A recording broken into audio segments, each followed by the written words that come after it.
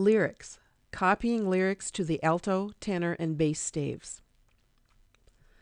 Using the selection tool, click to the left of the soprano staff containing the lyrics.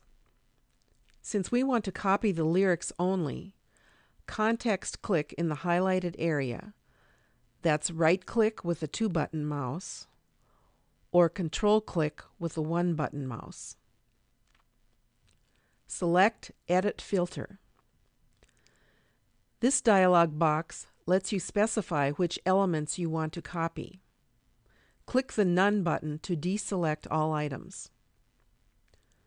In the left column, click the Lyrics box to copy the lyrics only. Click OK. When copying lyrics to other staves, you can always drag and drop lyrics into another staff, being careful to line up the beats.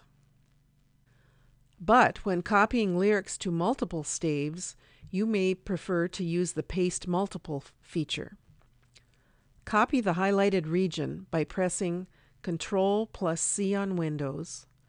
That's Command plus C on Mac.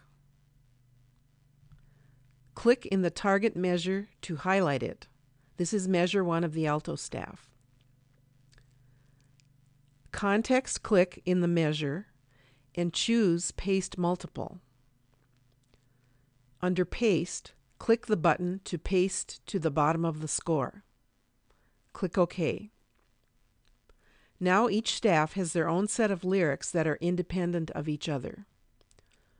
When finished copying lyrics, to restore the edit filter back to the default setting of copying all measure items, context click on any staff and choose Edit Filter.